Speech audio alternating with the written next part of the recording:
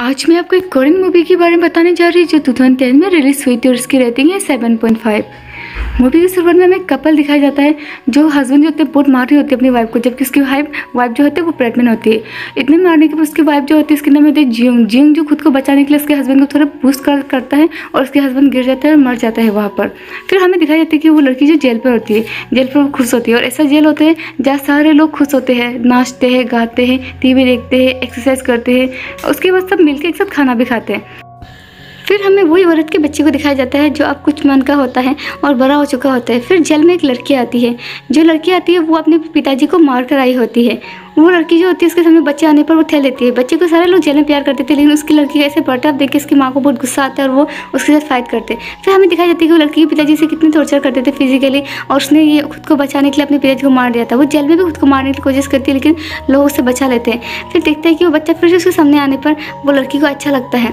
दूसरी बार हमें फिर दिखाया जाता है कि वही लड़की जो है वहाँ बैठ रहे होते हैं और उसके साथ बच्चा फिर आता है और कुछ लोग आके उसे सता रहे होते हैं तो वो गुस्से से बच्चे को ठेल लेते हैं। फाइट हो जाते हैं। फाइट में बच्चे की माँ जाती है वो बचाने के लिए जाती है। हमें दिखाई जाता है कि जेल में एक प्रोग्राम होता है वो देखकर बहुत खुशी होती है। और जो ये जिम होती है जिम को एक आइडिया आता है कि वो एक सिंगिंग थिंग बनाएँगे। जो जो हेड होता है जेल का वो मान जाता है। वो वो कहता है कि ठीक है तुम बना फिर जो होता है वो वार्डन जो होता है वो नहीं वार्डन की हेड वाले जो नहीं मानते। लेकिन वो उसका बच्चा जो होता है बहुत रोता है उसके कारण उनके लिए प्रैक्टिस नहीं कर सकते। और जो उस पता चलता है कि बाद में कि उनके ग्रुप में एक म्यूज़िक टीचर भी है वो औरत। वो औरत की कहानी हमें दिखाई जाती है वो बुरी औरत जो है उसने अपने हस्बैंड और उसकी गर्लफ्रेंड को मार दिया था। और उसकी बेटी से बिल्कुल भी मिलना नहीं चाहती क्योंकि उसके पिताजी को उसने मारा था। लेकिन जब वो बर्दाश्त नहीं कर पाई थी, जब उसे पता चला कि उसके पति उसके चीट कर रहा था, फिर उसके बाद सिंगिंग के लिए ऑडिशन लेते हैं। तो बहुत लोग होते हैं अच्छी तरह से गाते हैं और बहुत अच्छे मिल चुके होते हैं, लेकिन उसे एक ऐसा बंदी चाहिए थी जो लीड करे। फिर हमें दिखाई जाती है कि वार्डन जो होता है उसे बुरा बुरा कहता है। ये सुनने के बाद में जियोंग जो होते हैं, वो जाकर हेड वाले को कहते हैं कि शायद उसने ये चीज़ को रोक देनी चाहिए। होता है, वो उसे बताता है, ऐसा नहीं है। तुम अपने काम पर ध्यान दो। फिर भी वो लड़की जा रही होती है, वो सुनती है कि वो जिसने अपने पिताजी को मारा था, वो बहुत अच्छी गाती है।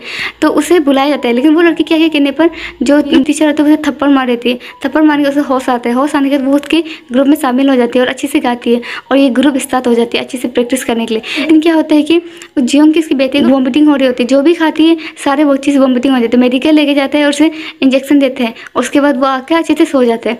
फिर दूसरे दिन क्या होता है जो ग्रुप के लोग होते हैं अलग अलग ग्रुप के लोग फाइट हो जाते हैं। फाइट होने के थोड़ी देर बाद वो लोग मिलकर एक दूसरे से बात करते हैं और गिले सिबे डील करते हैं। फिर एक दूसरे के साथ मिलकर अच्छे हो जाते हैं। उसके बाद हमें दिखाया जाता है कि ये खुशी जो थोड़े दिन तक ही थी जून के साथ क्योंकि जो जून थे उसमें रूल होता है कि एटीन मंथ्स होने के बाद बच्चे को जेल से दूसरे को एडोप्शन के लिए डिसिपेट होता है।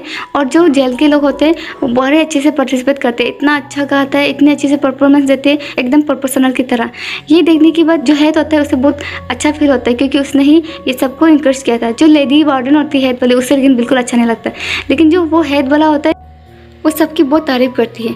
लेकिन अभी थोड़ी देर बाद उस जिम को आके बताया जाता है कि उसके बच्चे को लेने के लिए कोई आया है। एडोप्ट के लिए पेरेंट्स मिल चुके हैं।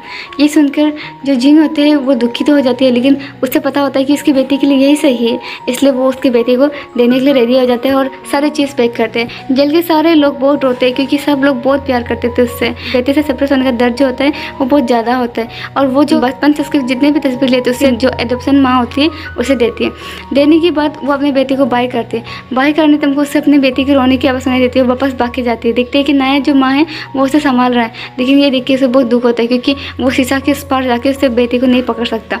उसके बाद हमें फिर दिखाया जाता है कि उसकी जो माँ है, वो बहुत दुखी हो जाती है, अपनी बेटी को खोने की पर बर्दाश्त नहीं कर पा रहे होते। और थोड़े समय के बाद सब कुछ ठीक होने लगता है। वो ये सिचुएशन को एक्सेप्ट करने लगते हैं, ये सच को एक्सेप्ट करने लगते हैं और चार साल बीत जाते हैं। चार साल में ये टीम जो होते हैं, वो बहुत ज़्यादा इंप्रूव कर चुके होते हैं। फिर उन्हें गुड न्यूज़ मिलता है कि उन्हें पार्टिसिपेट करने का मौका मिल रहा है। और ये मौका में आप रिलेटिव्स को भी मिल सकते हैं। फिर जब वो लोग पार्टिसिपेट करने के लिए वहाँ आते हैं तो वहाँ में एक औरत होती है जो, जिसको ये चीज़ बिल्कुल पसंद नहीं आता और वो अपनी रिंग गिरा देती है और चोरी के अंजाम लगा देते हैं। चोरी के अंजाम लगाने पर उन लोगों को इतनी बुरी तरह चेक किया जाता है ताकि उन्हें परफॉर्मेंस करने का समय नहीं मिलता। लेकिन थोड़ी देर बाद ये सब होने के बाद आता है वो आके उनको बचा देता है। और बचाने के बाद उनको परफॉर्मेंस करने के लिए ले जाता है। और ये जो परफॉर्मेंस होती है बहुत खूबसूरत परफॉर्मेंस होती है। सारे लोग इंप्रेस हो जाते हैं। इतने इंप्रेस होने के बाद थोड़ी देर बाद जब परफॉर्मेंस खत्म होती है तो कुछ बच्चे आते हैं। कुछ बच्चे आके हर एक औरत के सामने खड़े होकर हाथ पकड़ते हैं। और जिनको रियलाइज़ होता है कि उसका ही बेटा है उसके हाथ में मॉल होता है। ये देख वो बहुत दुखी हो जाती है इमोशन हो जाती है। इमोशन होने का वो जो बच्चा होता है उसे वो हक करता है। लेकिन वो उसके बेटा जो होता है उससे नहीं पहचानता है। और उसे कहता है कि मेरी माँ ये है। एडोप्शन बचपन वाली माँ होती है, उसे वो अपनी माँ कहते हैं। जो उसके अदब के थे वो पेरेंट्स होते हैं, वो कहते हैं कि ये भी आपकी माँ है, गले मिलती है और वो उसकी माँ से आई लव भी कहते हैं। और ये जिंग भी उसके बेटी से आई लव भी कहते हैं और बहुत ज़्यादा दुखी होती है। फिर फिर वो खड़ा होता है, खड़ा होने के बाद वो नई माँ को थैंक यू कहती है क्योंकि उसके, उसने उसकी बेटी को बहुत अच्छे से संभालता, बहुत प्यार दिया था और केयरिंग भी बहुत की थी। और ज़्यादातर समय बाय कहते हैं और वैसे चले जाते हैं। जाते जाते उसे एक बुक दिया देखे जाते हैं और बुक में उसके जितने भी बचपन के फ़ोटो थे जो चार साल चार साल के जो फ़ोटो थे वो होते इसे देखे जिंग फ़ोटो थे। फिर हमें दिखाया जाता है कि कुछ लोग डिस्कस कर रहे होते जेल में क्योंकि उसकी डेथ पेनल्टी होती है। इसलिए उसे फेयरवेल के लिए उसकी बेटी के घर भेज दिया जाता है। उसकी बेटी से बहुत नफरत करती थी लेकिन उसकी बेटी को जब बताया जाता है कि उसे हम फांसी देने वाले ये सुनकर उसकी बेटी को बहुत दुख होता है और सब अपनी माँ को लेके आता है और सब कुछ बहुत केयरिंग करते हैं। लेकिन दूसरे दिन जब उसकी माँ वापस आती है तो वहाँ एक वार्डन आता है वो कहता है कि कोई आया है मिलने? ये बात सुनकर जान जाता है कि वो अभी मरने वाली है, क्योंकि उसकी डेथ पेनल्टी होती है।